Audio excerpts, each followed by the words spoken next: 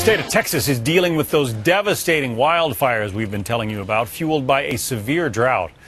Now, some folks are trying to do something about it by wringing a little more rain from the few clouds that are in the sky.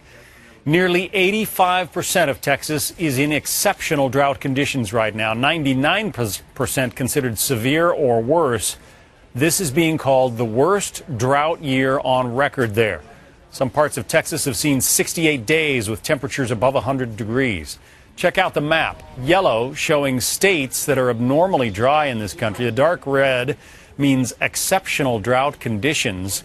With us now, Stephanie Beal, the project meteorologist for the Southwest Texas Rain Enhancement Association. Stephanie, rain enhancement, we're basically talking about cloud seeding, right? Yes, that's correct. And how do you know that it works? You're sending up airplanes uh, that drop flares that burn silver iodide, and that, that puts silver iodide particles into clouds, right? Yes, that's correct. Um, we actually here in Texas we fly at the base of the cloud.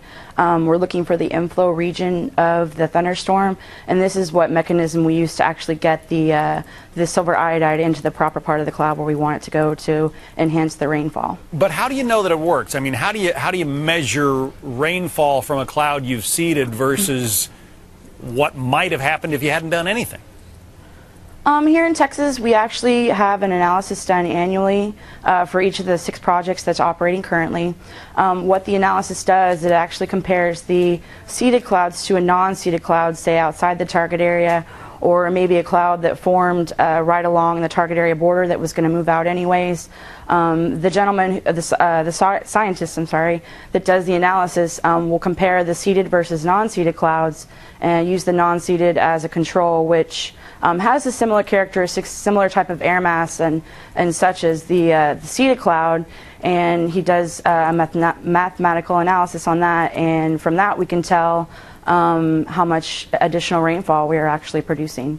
The, uh, the idea, I guess, I mean, those thunderstorm clouds contain obviously a huge amount of water, but what you're trying to do is to get them to drop their water more gradually and not just dump it all in one place as a thunderstorm can tend to do?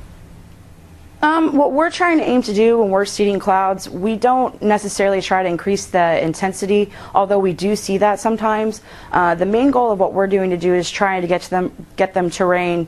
Uh, I guess stay alive longer, if you will, and so therefore, as they travel longer distances, they can drop rainfall over a larger amount of land than they would have if they were not seeded. This used to be uh, a state project, but it's my understanding the Texas funding for this kind of thing dried up. So you're actually paid for, you're actually funded by some of these water districts in the state?